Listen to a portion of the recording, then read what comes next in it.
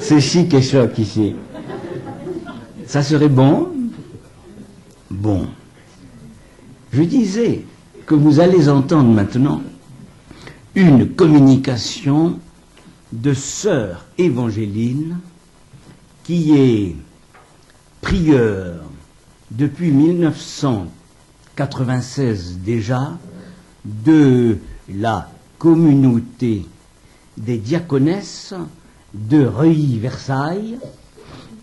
Euh, elle était là depuis 1967, d'après mes calculs mathématiques. Et évidemment, lorsqu'on a des charismes, on en a beaucoup, et elle est euh, agrégée d'anglais, ce qui pourrait rendre service à beaucoup ici, et elle est aussi diplômée de l'Institut supérieur des études écuméniques. Alors, sa problématique, ben, c'est marqué sur le texte, et je ne vais pas vous faire le coup euh, de simplement vous donner le titre, parce que vous l'avez déjà, maîtrise de soi et célibat dans la vocation chrétienne. Alors, parmi les choses extraordinaires que M. Domas n'a pas dites de moi, c'est que je suis protestante.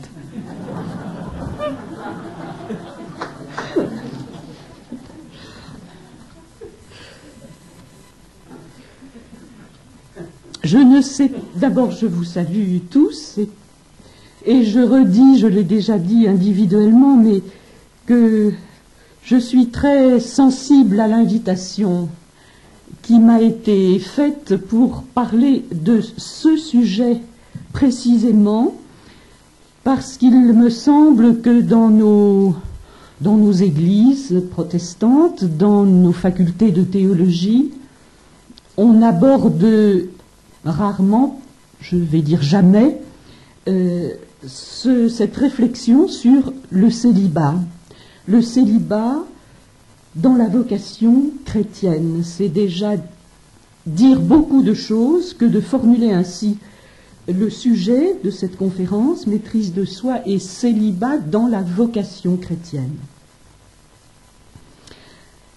Alors je ne sais pas si je vais répondre euh, directement aux questions qu'a évoquées Jean-Marc Domas, mais sans doute euh, un petit peu.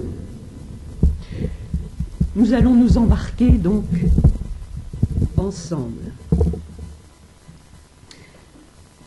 Lorsque nous considérons notre condition humaine, nous sommes face à une réalité et à un acte qui nous ont précédés. La réalité, c'est celle d'un univers, d'une culture, d'une société au sein desquels je viens au monde, et l'acte, c'est l'acte par lequel un homme, une femme, se sont donnés l'un à l'autre par amour ou peut-être uniquement par besoin. Le temps de mes années sur la terre, je le vivrai toujours en référence, consciente ou inconsciente, à cette réalité et à cet acte qui précède de toute façon la conscience que j'en ai.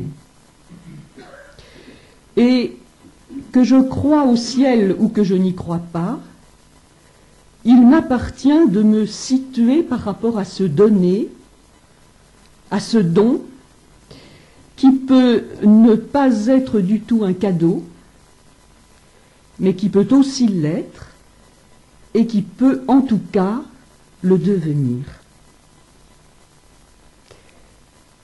Quelque part au profond de nous, il y a cette angoisse d'avoir été jeté là pour parler comme Heidegger. Ce pourquoi je suis là, pourquoi je suis né, que la foi n'empêche pas de ressurgir, nous le savons tous, à certains moments décisifs de notre vie. Nous ne naissons ni libres ni égaux. Mais la plus grande chose qui puisse nous arriver, c'est de nous recevoir nous-mêmes tels que nous sommes, en quelque sorte de nous adopter nous-mêmes, parce que nous aurons entendu une parole dite sur nous, une parole de révélation, une parole d'amour. Tu as du prix à mes yeux, dit Dieu par le prophète Ésaïe. Tu es mon fils bien-aimé en qui j'ai mis tout mon amour, dit Dieu lui-même à son fils.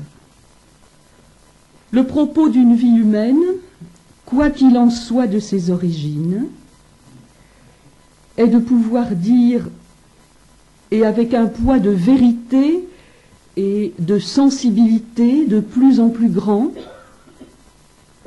au fil des années de la vie, comme le psalmiste, je te rends grâce pour la créature merveilleuse que je suis. Psaume 139. Et de pouvoir le dire avec d'autres et à l'égard d'autres, c'est-à-dire en communion. Alors, je vais moi aussi me risquer à quelques notes fondamentales pour une anthropologie chrétienne, mais nous sommes déjà bien, bien nourris dans notre réflexion depuis hier par M. Berthoud, M. Yonner, M. Brold. Et euh, je crois qu'il n'est néanmoins pas mauvais, pas inutile d'insister sur ce que c'est qu'être homme ou femme à la lumière de la révélation judéo-chrétienne. Je vais redire des choses qui ont été dites, bien entendu, et heureusement. L'image de Dieu, l'image des humains a été bien déformée au long des siècles. C'est vrai. Alors, Genèse 1, verset 1 au commencement, Dieu. Avant d'être une parole théologique, considérons cette parole comme une parole doxologique, comme on dit en liturgie, c'est-à-dire une parole qui appelle notre louange. Il faut s'arrêter et contempler. Au commencement, Dieu. Dieu dit, faisons l'homme à notre image et notre ressemblance. Hommes et femmes, il les créa. Je ne soulève pas toutes les questions et les débats anciens qu'il y a autour de ces paroles derrière elles, mais elles sont là et nous pouvons déjà bien en comprendre beaucoup de choses. Un Dieu qui est en lui-même communion, faisons l'homme, ce ce pluriel étonnant, très étonnant. Un Dieu qui est en lui-même communion, qui appelle à être ce qui n'est pas, Saint Paul y reviendra, dans la différence, homme et femme, il les créa, et dans le dialogue. Dieu modela l'homme avec la glaise du sol et insuffla dans ses narines une haleine de vie. C'est la suite de la Genèse. Ce corps, donc ce corps, la glaise du sol, modelé, il y a des pages magnifiques de Saint Irénée sur Dieu modelant l'homme. Ce corps que Dieu lui-même viendra habiter en son Fils, Jésus, qu'il viendra assumer pour le relever de sa chute, car la gloire de Dieu, je continue un petit peu avec Saint Irénée, c'est l'homme debout. Et nous croyons que seul ce qui est assumé par Dieu est et peut être sauvé. Alors l'Esprit Saint viendra raviver en nous le souffle des origines dans la puissance de la résurrection. Hommes et femmes, il les créa, il les bénit aussi. Donc ils ont charge, l'homme et la femme, de veiller sur la création, d'être eux-mêmes féconds et de respecter le commandement de Dieu. La désobéissance à ce commandement prendra des formes diverses au long de l'histoire de l'humanité, de l'histoire du salut. Mais avec une pédagogie paternelle ou maternelle, hier nous n'avons pas évoqué le visage de Dieu, peut-être père et mère, sans aller jusqu'à une théologie féministe que je ne partage pas, néanmoins, l'image de Dieu que nous avons est-elle uniquement masculine? Avec une pédagogie paternelle et maternelle, Dieu n'interrompt jamais le dialogue. Toute notre Bible en témoigne. Sa colère est d'un instant, sa faveur pour la vie, dit encore un psalmiste. Et c'est une alliance de plus en plus personnalisée que Dieu va nouer avec chaque femme, chaque homme, au long de l'histoire du salut. La nouvelle alliance dans le Christ en sera le sommet. Et cette alliance nouvelle nous révèle en plénitude l'identité de Dieu. Il est amour.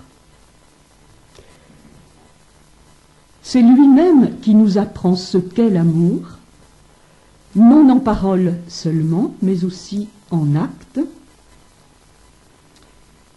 Vous connaissez bien le texte de Jean 15, verset 13, Il n'y a pas de plus grand amour que de donner sa vie pour ceux qu'on aime. vous pouvez tout de suite entendre qu'il y a de multiples lectures de ce verset en dehors même du contexte de la vie du Christ dans lequel il se situe. L'humain que Dieu a créé est donc corps, esprit et cœur avec une sexualité, homme et femme, mâle et femelle, il les créa. En vue de quoi? Je n'entrerai pas ici dans le débat sur la mort dans le projet de Dieu. Néanmoins, la mort accompagne l'histoire de l'humanité, de la première à la dernière page de la Bible. Elle est annoncée par Dieu comme le risque de la désobéissance. Tu mourras si donc Genèse à nouveau. Et elle est le dernier ennemi à vaincre, selon les paroles de l'apôtre Paul en Corinthiens 1 Corinthiens 15. Elle est, dès que ma conscience s'élabore, le seul événement de ma vie dont je suis sûr qu'il se produira. mais je confesse à cause de la résurrection du Christ, la résurrection de la chair, nous venons de le faire à l'instant, c'est-à-dire la résurrection de ma personne totale et la vie éternelle lorsque les générations auront pris fin et que Christ sera tout en tous. Je suis créé en vue de la vie et en vue du bonheur. Bienheureux est aussi l'un des leitmotifs de la parole de Dieu et de l'histoire du salut. Alors, le célibat sur cet arrière-fond. Il est tout à fait clair dans l'histoire de l'humanité et de la révélation que le couple a un rôle déterminant. La procession d'entrée dans l'arche, Monsieur et Madame Noé en tête, a dû être magnifique. Il n'y avait pas de célibataire apparemment. Et la question qui se pose d'emblée face à des hommes ou des femmes célibataires, c'est toujours, qu'elles soient exprimées ou pas, de savoir s'ils vivent vraiment leur humanitude, ou bien s'ils se situent dans l'infra-humain. N'est-ce pas que c'est un peu la question? Dans vos esprits, à vous qui n'êtes pas dans cette condition de vie. Et c'est une question tout à fait légitime. Ce que je viens de dire précédemment ne peut faire que la mettre en évidence. Cette question, elle étreint le cœur d'un certain nombre d'hommes et de femmes qui éprouvent leur célibat comme un mal subi et que le regard de leur environnement, fut-il d'église, n'aide pas à éclairer ni à encourager. L'Église, cela nous a déjà été rappelé hier, l'Église a largement contribué à fausser le sens du célibat, choisi ou non choisi. Le célibat monastique a une très belle histoire, j'y reviendrai, mais il est devenu dès le haut Moyen Âge un état de perfection, proclamé tel par l'Église, et cela s'est doublé d'une théologie du péché qui s'est élaborée aussi dans le même temps, le péché lié au corps et à la sexualité, et de cette théologie, nous ne sommes pas encore complètement guéris.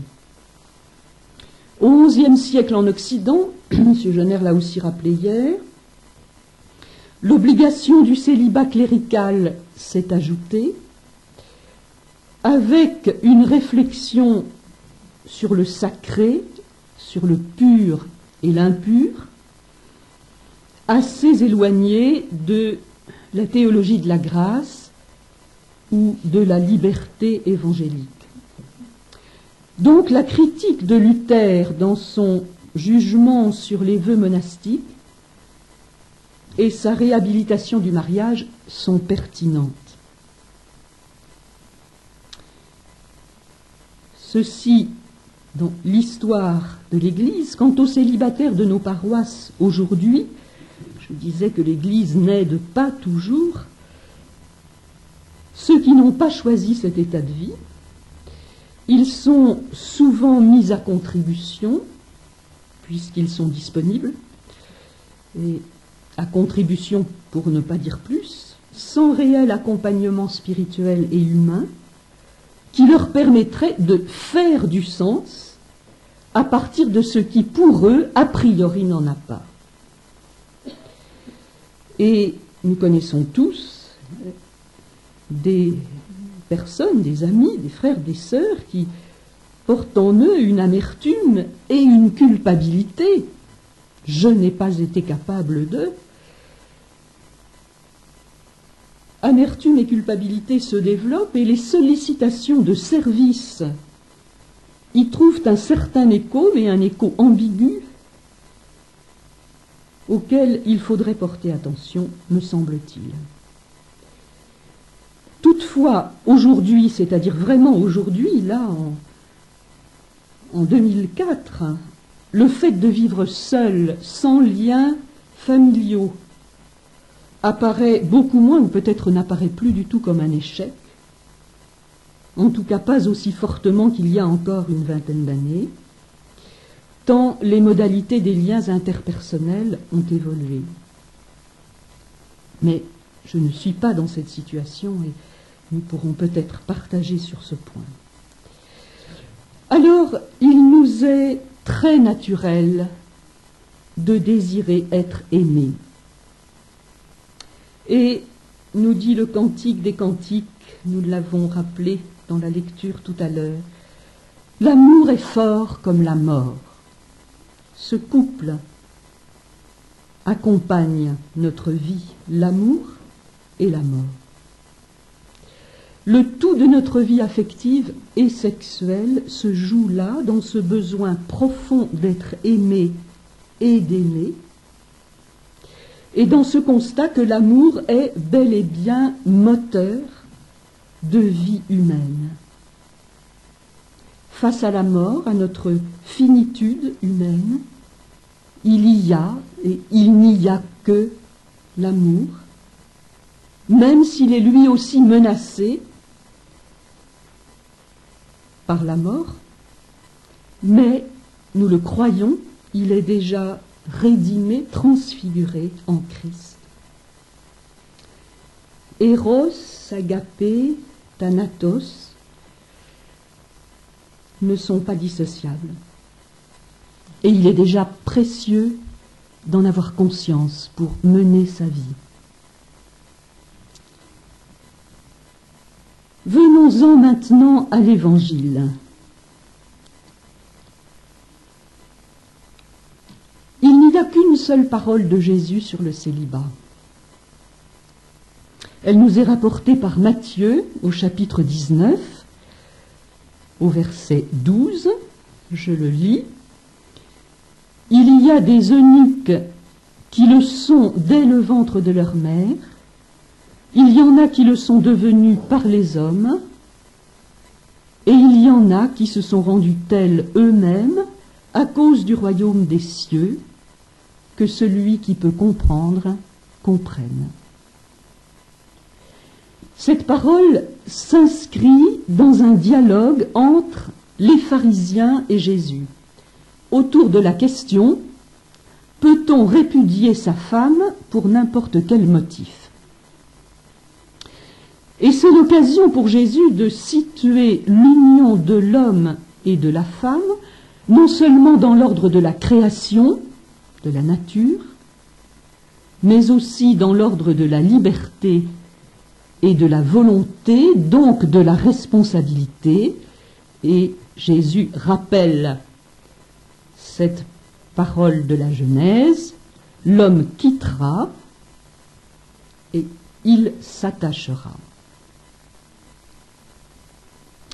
Puis vient la remarque, des pharisiens mais des disciples, qui disent à Jésus, alors si telle est la condition de l'homme envers la femme, c'est-à-dire que euh, s'il commet un adultère, s'il c'est-à-dire que s'il divorce, il commet un adultère, sauf pour infidélité. Donc les disciples, toujours très terre à terre, ben, il n'est pas très avantageux de se marier. Cette remarque et la parole sur les eunuques qui va suivre, sont propres à Matthieu. Elle n'existe pas dans le texte parallèle de Luc, et les exégètes, même les plus radicaux, comme Bultmann, reconnaissent que cette parole sur le célibat est bien un logion de Jésus, une parole authentique de Jésus, sur laquelle nous pouvons nous appuyer. Certains exégètes pense que Jésus a dit cette parole sur le célibat à ses disciples pour justifier son propre célibat, qui était une prise de distance très importante par rapport à la tradition juive. Quoi qu'il en soit, je ne vais pas chercher, j'en suis bien incapable à trancher sur le célibat de Jésus, quoi qu'il en soit, le rapprochement par Matthieu des paroles de Jésus sur le mariage, puisqu'on parle d'une question sur mariage et divorce. Ce rapprochement d'une parole sur le mariage et d'une parole sur le célibat me paraît mettre en évidence deux choses. La première, que j'ai déjà dite, c'est que le cœur de l'homme et de la femme est fait pour aimer. La deuxième, que le mariage dans le mariage comme dans le célibat, il y a renoncement, c'est-à-dire choix. Il faut renoncer à certaines relations, tu quitteras, ou certains modes de relations, avec le risque inhérent à tout choix humain, celui de la fidélité, celui de l'infidélité. Dans l'ensemble de la péricope de Matthieu, Jésus englobe donc le mariage, les célibats subis, je pense qu'on peut élargir, il cite simplement les eunuques qui le sont dès le ventre de leur mère, ceux qui le sont devenus par la main des hommes, en tout cas deux situations de célibat subis, et le célibat choisi. Et il souligne l'orientation de ce dernier en vue du royaume des cieux. Je me permets de citer deux phrases de notre règle de vie au chapitre célibat. Silencieusement, l'appel au célibat ouvre une porte sur le mystère du royaume à venir. Les générations auront pris fin et tout être vivant aimera Dieu en plénitude. Cet accent eschatologique a été très prononcé dans les premières décennies de l'Église. Vous le savez, tout le monde attendait le retour du Christ dans une imminence. Cela a aussi donné quelques mouvements sectaires dans l'Église. Et Paul, notamment, sa, réflexion théologique euh, a évolué avec les années qui passaient et la prise de conscience que ce n'était pas du vivant de, des premières communautés chrétiennes que le Christ allait revenir. Les premières vierges et les premiers ascètes, comme on les nommait alors, attendaient donc avec ferveur le retour du Christ les générations pouvaient prendre fin, et Paul est dans cette ligne lorsqu'il écrit aux Corinthiens avec la sagesse remarquable dont M. Rold a bien parlé hier. Il écrit son chapitre, son chapitre 7 aux Corinthiens dans cette orientation. Le Christ va revenir. Mais il semble qu'il n'ait pas eu connaissance des paroles de Jésus, du logion de Jésus sur le célibat, lui qui cependant, vous le savez, portait en lui cet appel au célibat, le recommandait, mais nuance, vous relirez ce, chapitre remarquable, ceci c'est le Seigneur qui le dit, ceci non, ce n'est pas le Seigneur, c'est moi. On, est, témoin d'une réflexion qui, se cherche, qui s'élabore, et qui est pleine d'un grand respect et d'une grande tendresse même. C'est un très beau chapitre. Mais il ne cite pas cette parole de Jésus. Donc elle ne lui est pas parvenue, vraisemblablement. Néanmoins, il est dans cette, dans cette ligne. Ce qui lui est cher à Paul pour lui-même et ses églises, c'est que les croyants est un cœur sans partage. Ce thème du cœur sans partage va devenir un axe très fort de la spiritualité monastique, quant au célibat et à la vie sexuelle notamment. Et il vient de Saint Paul, et que ces croyants soient tout entiers au Seigneur. Donc, nous, en avons déjà bien parlé, entendu parler hier soir. Paul amorce dans ses épîtres une théologie du corps, fort intéressante. Il y a, énormément de citations. M. Buchold les a faites hier pour certaines. Je vous exhorte, frères, à offrir vos corps en sacrifice vivant, saint. C'est un texte que nous lisons au jour de nos consécrations. Et puis le corps est pour le Seigneur, cette parole absolument magnifique. Votre corps est le temple du Saint-Esprit.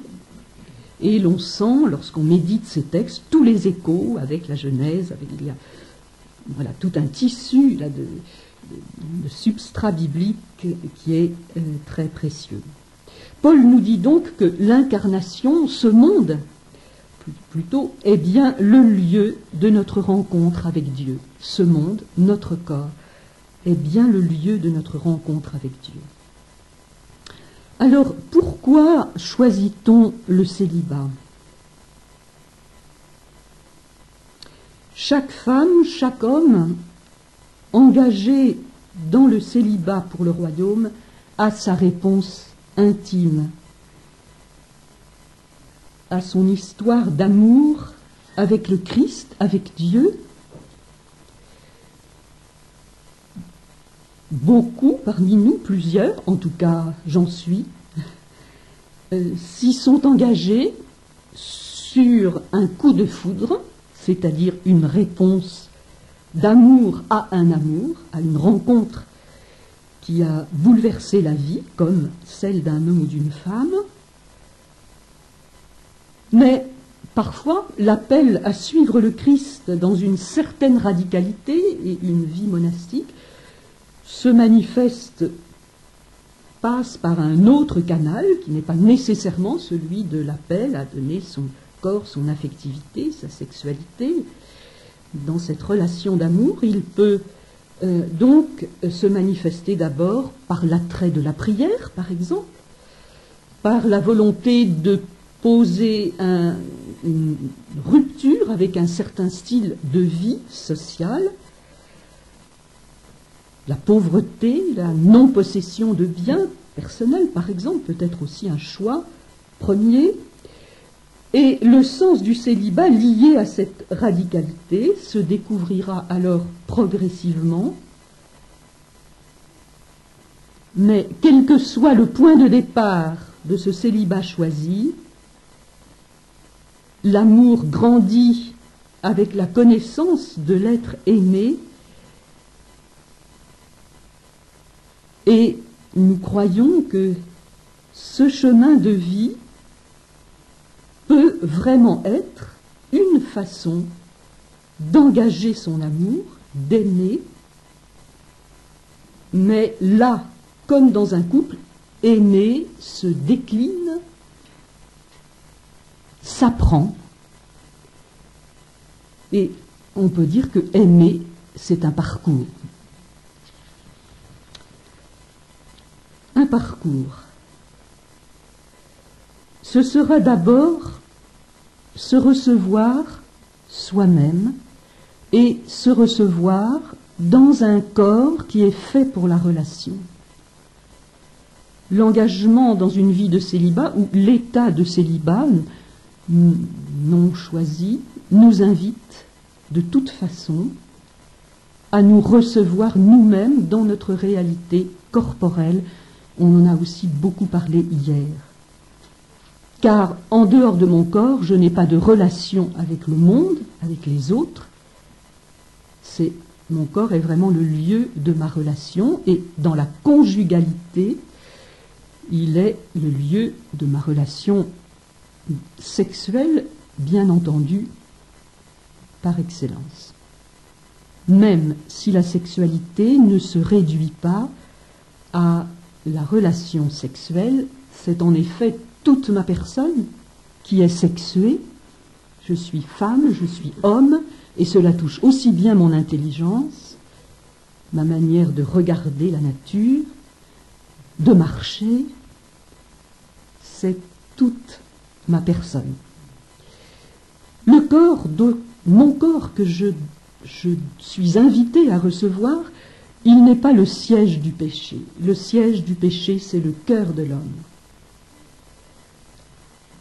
Mais c'est dans mon corps que je vais éprouver l'amour de Dieu, comme l'amour humain, comme l'amitié humaine. Cela, c'est tout à fait sûr. Ce corps, je choisis un jour de le donner à celui qui m'a attiré à lui, qui m'a séduite. bien sûr, je cite oser, mais un homme et une femme pourraient se reconnaître dans cette parole. Que je fasse ce choix dans la virginité de ma jeunesse, ou que je le fasse après l'expérience d'un compagnonnage, je dis par là, à partir de maintenant, je n'offrirai plus mon corps à un autre. Quitter, mais quitter pour s'attacher. L'appel mystérieux du Christ nous fait bien entendu changer de plan. Comprenne qui pourra, dit Jésus. Et c'est bien vrai. Il n'y a aucune justification rationnelle au célibat. Comprenne qui pourra. Le bien-aimé, pour parler comme le cantique des cantiques, le bien-aimé est un corps glorieux qui m'échappe complètement. Jésus dit déjà à Marie-Madeleine dans le jardin, ne me touche pas. Je quitte donc une certaine manière d'être au monde.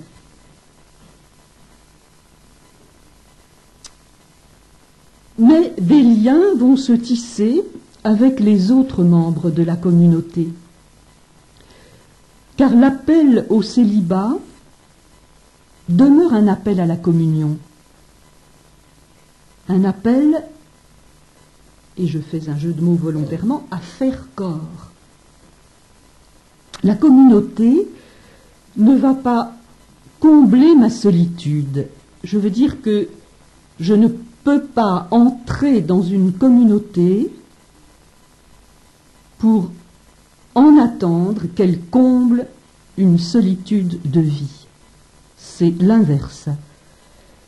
Étant entré dans une communauté par appel de Dieu, cette communauté va participer à nourrir cette solitude, va lui donner une autre couleur,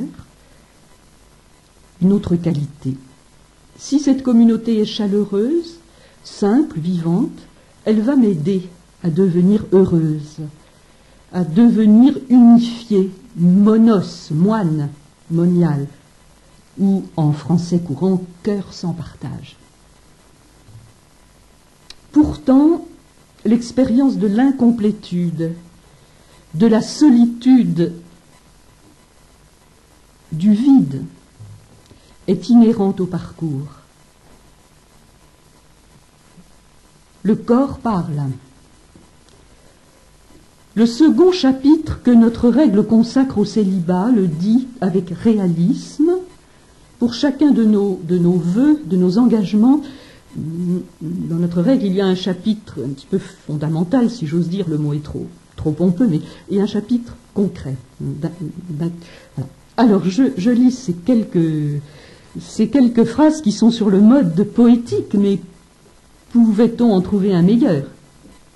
Lorsque tu verras les péchés en fleurs crier de joie sous le soleil, et les jeunes bêtes gambader dans le matin, lorsque tu verras l'enfant s'enfouir au cœur de sa mère, et que tu seras là, toi, seul, reçois cette puissance de vie, et sois sans crainte.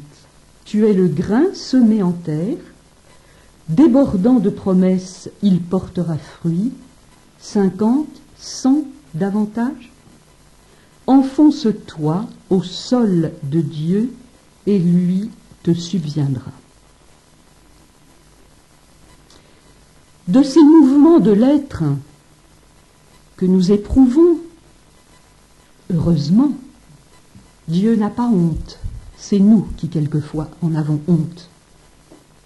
Dieu n'a pas honte, je le crois, parce qu'il nous rejoint toujours dans notre humanité, dans nos blessures. Et il se peut même que nos blessures deviennent ses portes d'entrée à lui pour le chemin de conversion que nous n'aurons jamais fini de parcourir jusqu'à notre dernière conversion. Et le centuple surgit alors là où la perte est transfigurée par un amour que je chercherai toujours à retrouver, l'amour de Dieu, du Christ, auquel je me suis consacré. Néanmoins, malgré ce recentrement sur le premier amour, malgré ce recentrement sur le choix initial, la tentation et le combat ne sont pas épargnés. Il y a des seuils à franchir, 30 ans,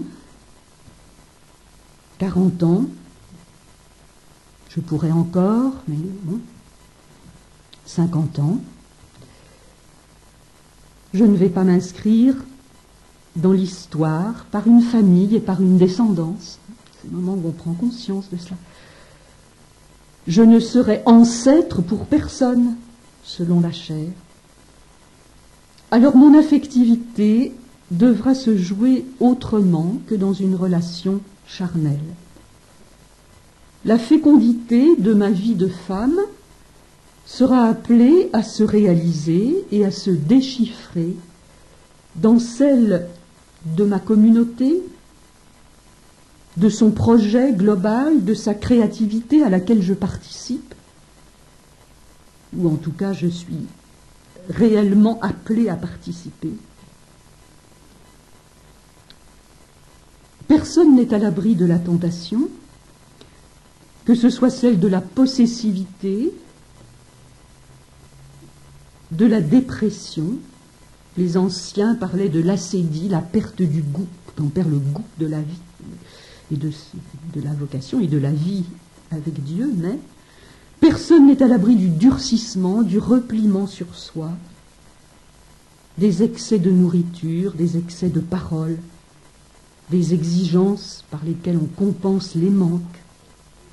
Tout ceci fait partie de notre communauté des biens. Nous partageons ce chemin d'humanité.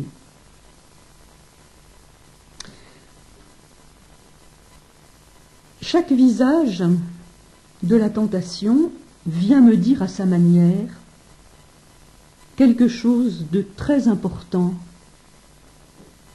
c'est que je ne suis pas encore libre, complètement, moi qui suis appelé à la liberté.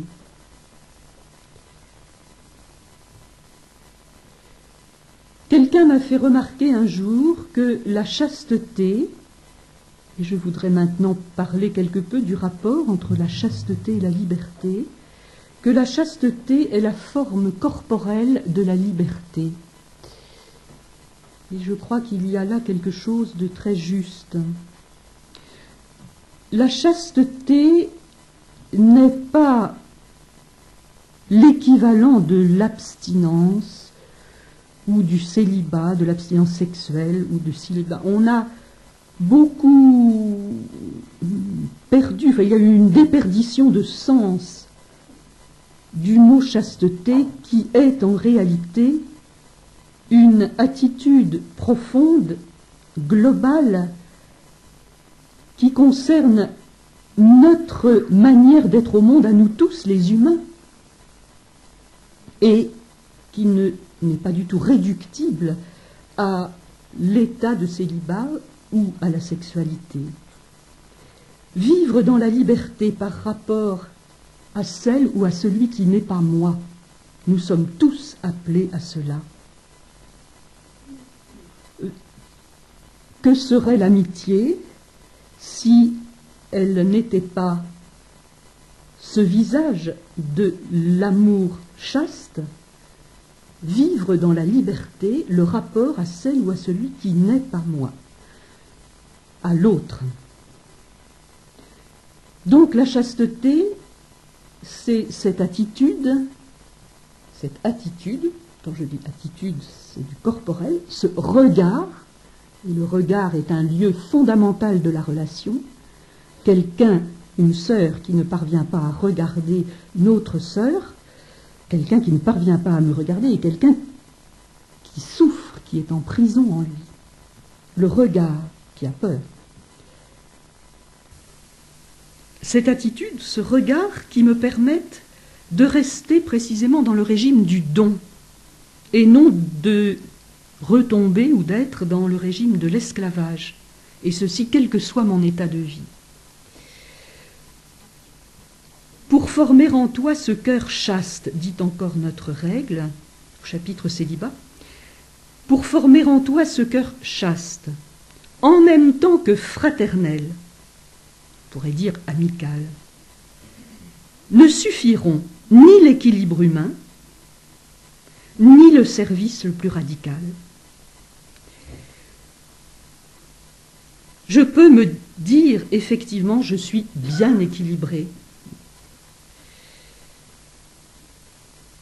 ou je peux me dire je suis entré en communauté pour servir les autres, et on a là deux, euh, deux pôles de fragilité finalement, car l'équilibre humain est fragile et le service a toujours un petit risque d'être, de devenir une fuite.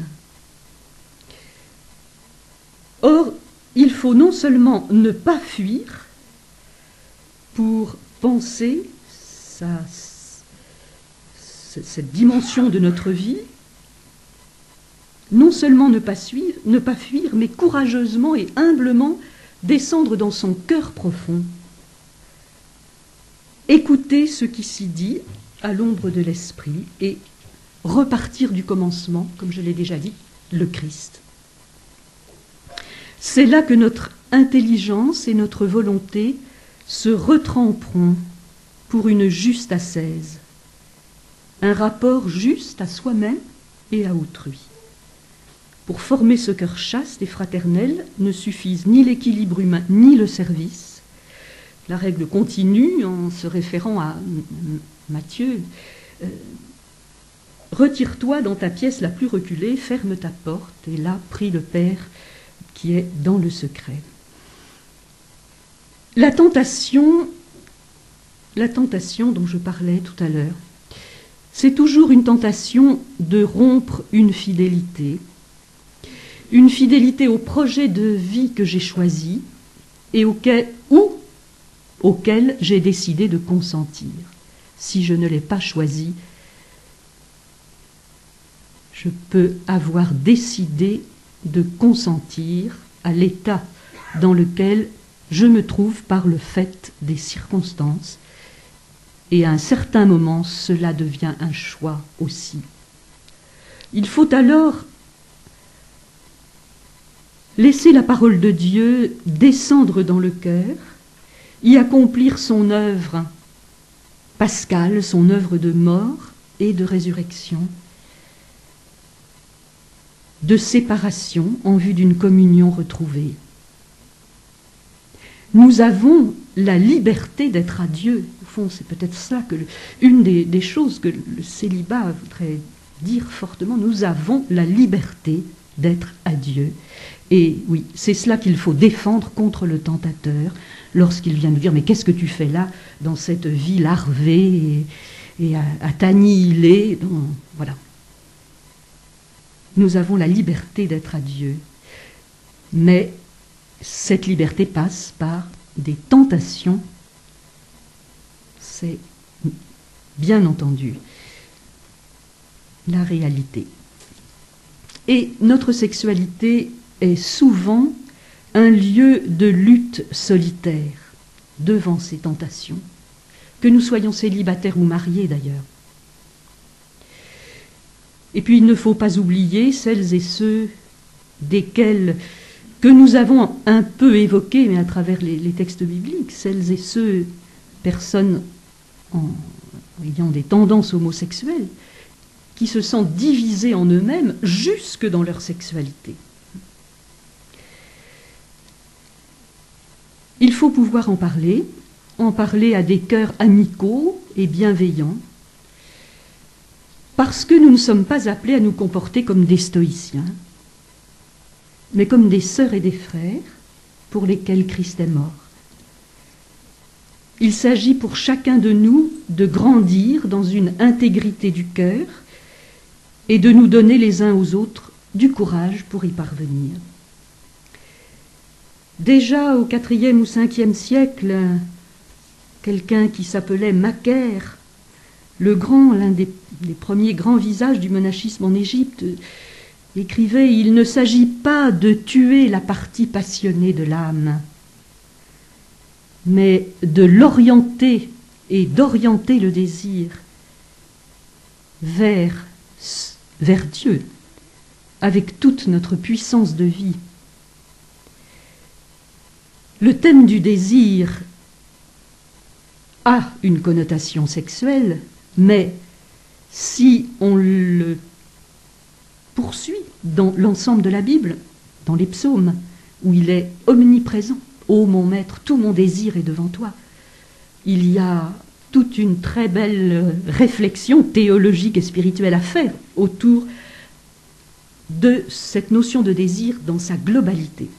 Il ne s'agit pas de tuer la partie passionnée de l'âme, mais d'orienter le désir, de le réorienter toujours à nouveau dans la direction que nous avons choisie, reconnue comme un appel pour nous. Ce Dieu qui, bien que le tout autre, habite les profondeurs de nous-mêmes, le retrouver, le réécouter, savoir faire silence pour l'entendre nous dire et nous redire Tu n'es pas seul. Donc un accompagnement, un accompagnement des frères, des sœurs, nous avons à l'offrir dans nos communautés, à nous l'offrir les uns aux autres lorsque nous sommes en communauté. Nous pouvons aussi le trouver à l'extérieur de nos communautés, selon les besoins qui se font jour pour tel ou tel d'entre nous, selon l'histoire personnelle de chacun, de chacune, déjà déchiffrée avec un frère ou une sœur, dans la confiance qui permet l'ouverture du cœur. Ne pas en rester à une lutte solitaire. La chasteté, on pourrait encore dire que c'est une libération de la tentation de nous faire nous-mêmes Dieu et de posséder les autres. Elle est un autre nom du respect, une certaine prise de distance en dehors de laquelle nous ne pouvons pas même voir que l'autre existe. Sans le respect, nous ne pouvons ni exister, ni aimer quand l'apôtre Pierre euh, dit qu'il nous faut honorer tous les hommes, je crois qu'il y a aussi là beaucoup, de, beaucoup à réfléchir. Honorer tous les hommes, cette formation au respect, donc à la chasteté, à la distance juste. Seule, en effet, l'habitude de la méditation, de la réflexion priante, nous la rendra possible. Elle nous empêchera de dévier dans le non humain où celles et ceux qui nous approchent ne retrouveraient plus leur propre réalité humaine. Honorer tous les hommes, c'est peut-être parvenir à ce que le regard que je pose sur autrui s'apparente au regard d'espérance que Dieu pose sur lui. Ce que nous serons n'a pas encore été manifesté, dit la première épître de Jean. La maîtrise de soi, pour conclure, elle est un fruit de l'esprit, mais Luther a raison dans son commentaire de Galates 5 de souligner à plusieurs reprises qu'on ne peut se référer à l'esprit sans se placer sous le régime de la liberté et de l'amour. La maîtrise de soi ne nous installe pas dans une attitude stoïcienne, qui nous ferait sortir du régime de la révélation chrétienne. Cette liberté, c'est une liberté qui s'installe dans notre conscience et dont Luther nous dit qu'elle doit être libre, notre conscience, et heureuse. Que mon cœur soit libre pour aimer, voilà le propos de la vie et de la vie en Christ. Vivre sa vie dans le célibat n'est pas sortir de la condition humaine, par conséquent n'est pas sortir de la sexualité, puisque, comme je le disais en commençant, ma sexualité ne marque pas seulement la génitalité en moi, mais toute ma personne. Alors dans le choix que je fais du célibat pour le royaume, comme femme, je ne chercherai plus à séduire, mais je chercherai et devrais chercher à continuer d'entrer en relation dans la liberté et dans la joie qu'éprouvait, nous dit-il, l'ami de l'époux. Jean 3, 29. C'est un art de vivre dans lequel on se sent toujours apprenti et on ne peut avancer qu'avec beaucoup d'humilité. Merci beaucoup.